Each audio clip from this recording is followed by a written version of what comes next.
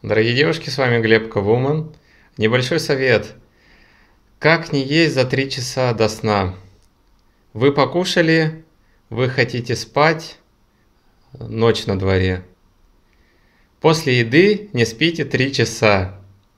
И тогда вы ляжете спать по расписанию. С вами был Глеб Кавуман. Подписывайтесь. Всего наилучшего, приятной дамы.